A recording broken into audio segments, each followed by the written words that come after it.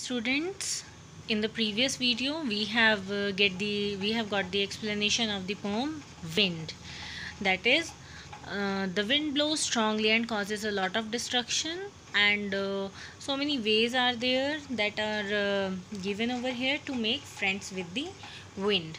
So now that is glossary. You will read these words by your own so that uh, the understanding of the poem becomes easy. I have also told you the meaning of all the words. Still you are supposed to read it thoroughly. Now we will do the exercise work. Thinking about the poem.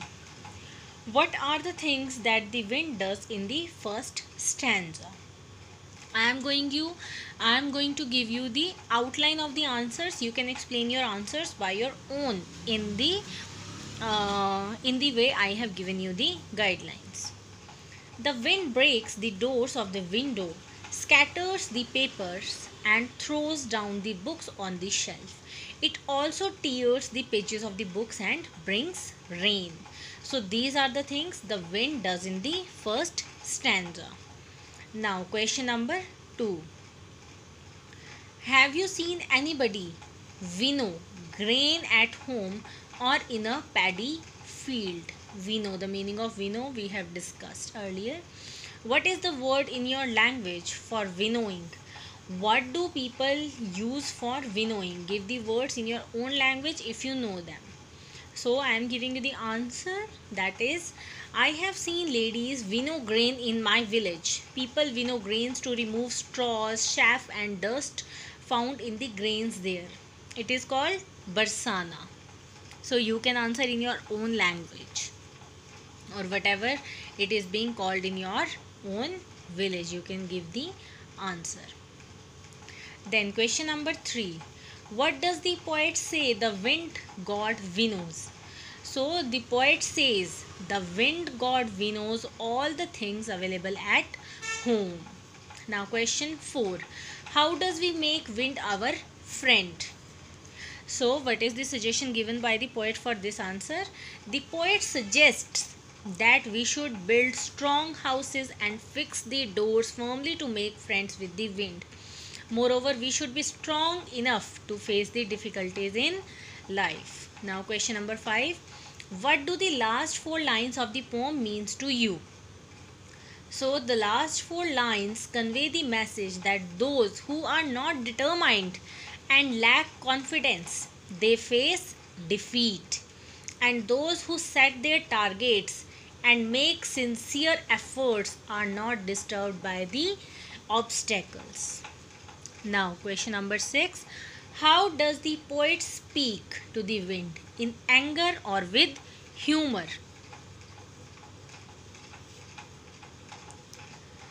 So, I opine that the poet's behavior is pertinent and I have also seen the wind devastating. Uh, sorry, one more time I am going to repeat the question. How does the poet speak to the wind in anger or with humor? So the answer of this part is the poet speaks to the wind with humor. You must also have seen or heard of the wind crumbling leaves. What is your response to this? It, is it same as the poet's? So, I opine that the poet's behavior is pertinent and I have also seen the wind devastating the property mercilessly. Yeah, we all have seen those things. The poet invites the wind to attack him and intends to prepare himself for the attack. Now, part 2, question 1. The poem you have just read is originally in Tamil. Do you know any such poems in your language? If yes, you can name the poems here. Now I am going to tell you some additional questions. Additional questions are also there. You know, these questions you can do in your own book also. Notebook also. Who are disturbed by the wind? Who are disturbed by the wind? That is question 1. Then what does the wind do with the books? What does the wind do with the books. Then question number 3. Why does the author ask the wind to come swiftly? Why does the author ask the wind to come swiftly? Then question 4. How does the wind become the cause of rain? How does the wind become the cause of rain? Question number 5 why should the earthly people build strong houses? Why should the earthly people build strong houses? Question number 6 does the wind god do what we tell him? Does the wind god do what we tell him? Now question 7 what does the wind symbolize? What does the wind symbolize? You know i am not going to tell you the answers of these questions. These are extra questions. You are supposed to find out the answers from your book. Now question number 8 what does the poet ask us to do what does the poet ask us to do? Then question 9 why and how does the wind blow out weak fires? Why and how wind blow out weak fires? Who roar and flourish? Ye question these this question has two parts.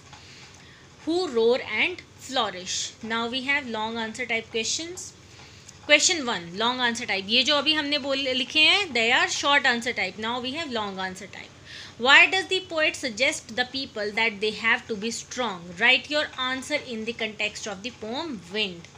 Repeating the question. Why does the poet suggest the people that they have to be strong? Write your answer in the context of the poem Wind. Then Question 2. It is also a long answer type question. How can you say that the poet of the poem Wind is a great lover of mankind? How can you say that the poet of this poem Wind is a great lover of mankind. Next question, question number 3 that is also a long answer type question. The wind is a symbol of power and strength. The wind is a symbol of power and strength full stop.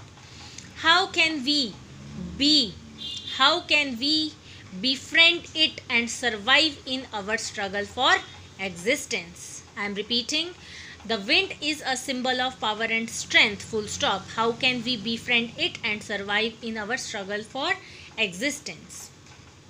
Now, some more questions are there. What moral lesson do you get from the poem Wind? What moral lesson do you get from the poem Wind? Then, how can you say that friendship with the, with the wind uh, with the strong is good. How can you say that? Friendship with the strong is good. You know some extract based questions are also there. You are supposed to go through the poem in a very thorough manner so that you will be able to answer these extract based questions. So students this is all for today. In the next video we will begin with the new chapter. Thank you students. Have a nice day